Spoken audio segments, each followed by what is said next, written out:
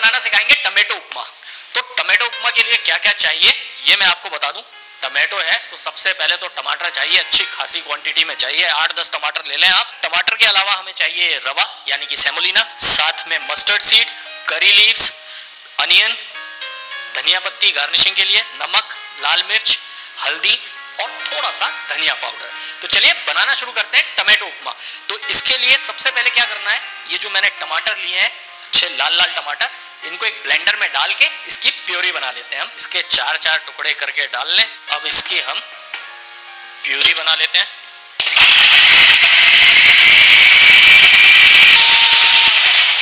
ये हमारी टमाटर की प्योरी तैयार हो गई है।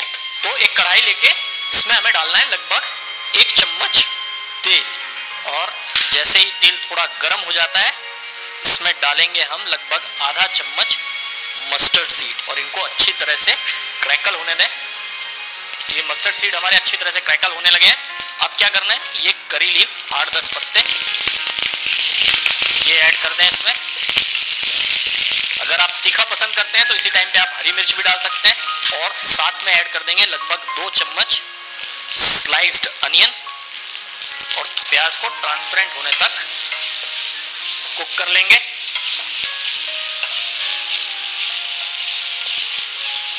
ये प्याज हमारी पक गई है। अब हम इसमें ऐड करेंगे लगभग एक कप रवा और इसको मिक्स कर लेना है। हल्का सा भून लेना है और भूनते समय ही इसमें ऐड करने हैं हमें ड्राई मसाले। ड्राई मसाले में एक चुटकी हल्दी, लगभग एक चुटकी ही धनिया पाउडर लाल मिर्च स्वादानुसार और नमक स्वादानुसार। और इसको अच्छी तरह से मिक्स करके थोड़ा भूनना है, ताकि ये जो हमारे सूखे मसाले हैं, इनका कच्चापन थोड़ा निकल जाए। तो ये जो हमारा रवा है और ड्राई मसाले हैं, ये अच्छी तरह से भुन चुके हैं। अब हमें क्या करना है? ये जो हमने टमाटर की प्यूरी बनाई थी, ये इसमें ऐड कर दें आप। इसको थोड़ा सा एक बार मिक्स कर लें पहले। और मिक्स करने के बाद इसमें ऐड कर देंगे लगभग आधा पानी और पानी डाल के इसको चलाते रहना है। जैसे ये ड्राई हो जाएगा, इसकी कंसिस्टेंसी आ जाएगी, आपका उपमा तैयार हो जाएगा। इसको चलाते रहें और थोड़ा सुखा लें। तो ये हमारी कंसिस्टेंसी आ गई है।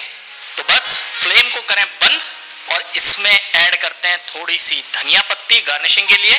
और आपका टमेटो उपमा तैयार है। ज़रूर ट्राई कीजिएगा। बहुत सिंपल है। नाश्ते में खाएँ, बहुत हेल्दी है। तो ज़रूर ट्राई कीजिएगा। टमेटो